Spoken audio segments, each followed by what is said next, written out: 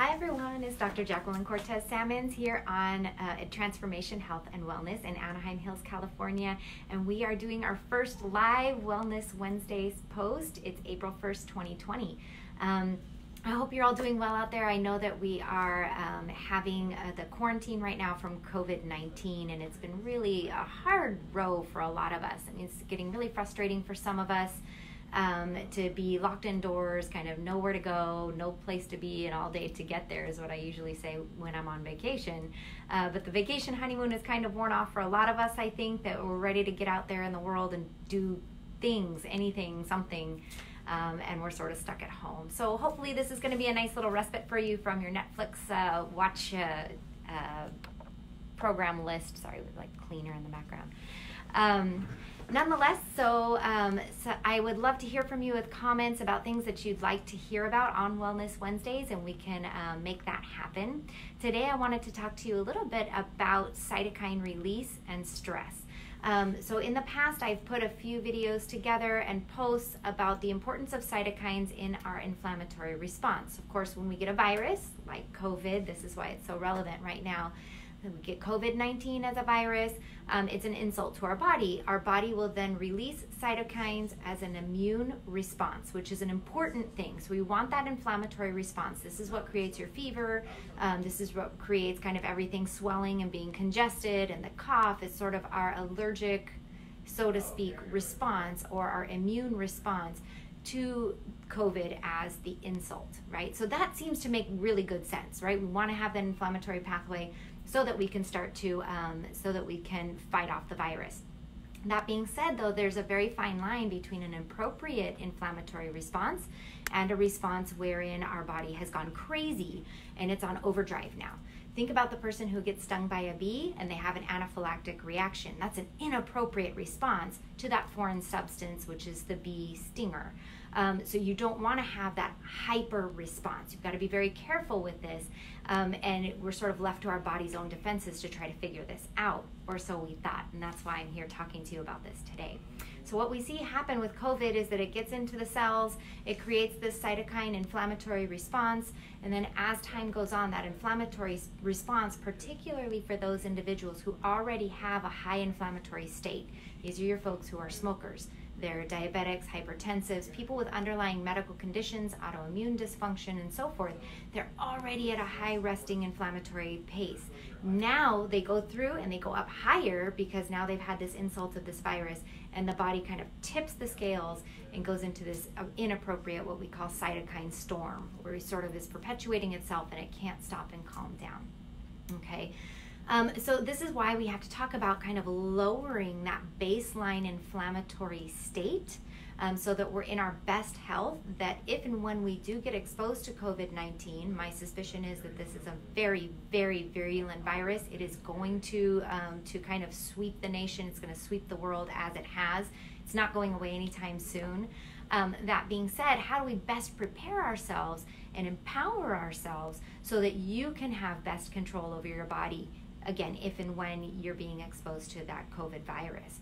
So, one of the ways to do that is to control some of the stressors in your world. Now, again, mortgage is due today, right? It's the first of the month, car payments are due, electric bills are due. Some of those stressors you can't fix. Mother in laws, you can't fix. I have to tell you that much is true. You can't control other people, but we can control ourselves. So, for those stressors that you can control, I highly recommend it. I've been doing a lot of research and reading, um, as anybody who follows me knows, um, and just looking at how our body responds to stressors. Now, we think about stressors again as a virus, a bacteria, an environmental toxin, something that we eat, medications. That makes sense. We don't really necessarily think of how emotional stressors affect us physically, other than in that time and space where, let's say, you get in a fight with your spouse or your teenage kid again not like that would ever happen in my household. Um, but when we get into that fight you know we kind of get shaky and we're very tense and we feel our muscles kind of so it seems like a very physical response of course. And then it subsides and everybody you know kumbaya and we're good to go. But what's really happening on a chemical plane is our body is going into a fight or flight mode. It is trying to survive. So, what it's interpreting as a fight with your boss, your spouse, your teenager is really a survival mechanism that gets implemented.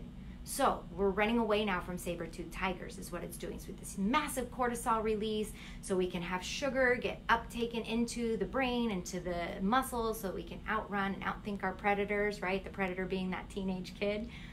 That being said, we also have this cytokine response.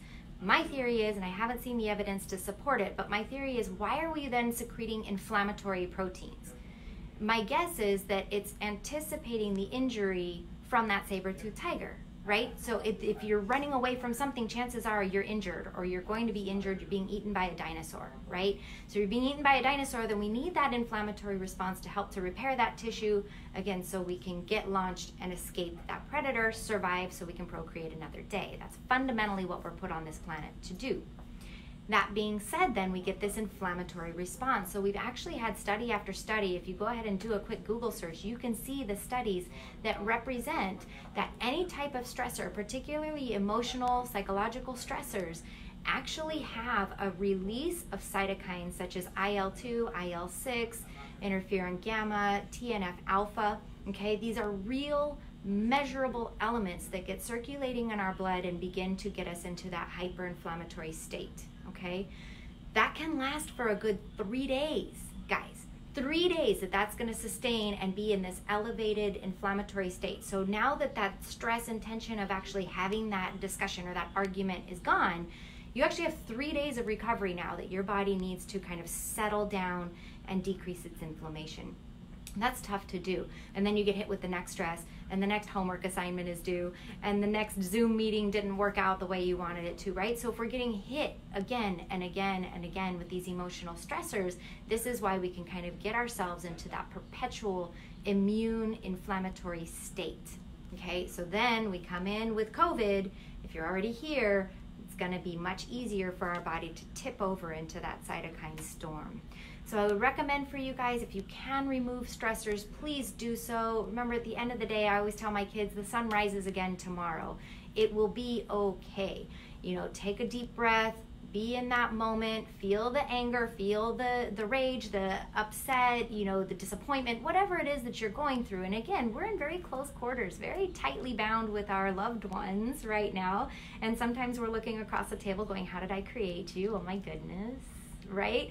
This is difficult. It's difficult on a lot of levels, but I think being able to open up that communication, modify your body's response, um, don't let things disturb your peace as best you can, will be helpful in decreasing that inflammatory cytokine response. Other things that have been proven to work is music. Um, will actually set the mood. So again, maybe not some of the harder metal stuff from the 80s that I grew up on, um, but certainly some of the more soothing music. Um, can really help to mo- modulate those inflammatory markers so that they're not so out of control. Um, other things, what I call in my family, um, box breathing. I'm sure there's a better word for it, but um, what we do is breathe in for three seconds, hold it for three seconds, breathe out for three seconds, hold it out for three seconds. Now, that requires that you're not talking at that time, right? So, again, argument needs to be done, discussion needs to be done, focus on that breathing um, do efforts of active relaxation. Active relaxation is something that is very different than um, just chilling on the couch, again, watching Netflix, cable, Roku, whatever it is. Um, you know, free advertising for all of those elements. But nonetheless, um, just sitting on the couch doesn't count as relaxation. Okay, active relaxations means you're actively attempting to cool your body down. Again, very measurable, objective factors that are associated with this that if you're doing that box breathing, if you're meditating, if you're doing yoga, all of these are good methods of doing that. We actually physically see a lowering of blood pressure, a lowering of heart rate. Our body gets into that Zen state, so to speak. And it is very real, it is chemical, um, so something important to keep in mind. So again, I'm glad you could join me today. I see a couple of you out there. Um, certainly feel free to leave comments. I'd love to help update you on anything that I can. Um, give me next week's Wellness Wednesday topic. We'll talk to you soon.